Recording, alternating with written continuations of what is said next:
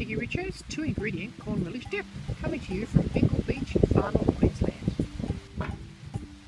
Hi and welcome to Cheeky Richo's two ingredient corn relish dip and I'm going to show you how simple this is to make even in the outdoors. The ingredients are in the recipe box below so let's get started. To a bowl we're just going to add some sour cream. We're using sour light cream because it's a lower fat option. It will be a little thin but it will thicken slightly on standing and about an equal quantity relish. Any brand will do if you have some homemade by all means use that and then we just give this a good mix around completely combine it and that's all you have to do. It'll keep for quite a few days in the refrigerator. It's a lot cheaper option than buying it ready made and you always have it on hand if you've got some corn relish in your pantry.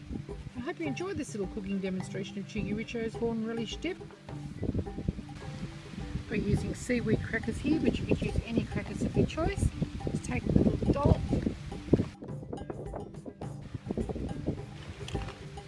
It's creamy and delicious and bound to make your next happy hour a very entertaining event. Thanks for watching.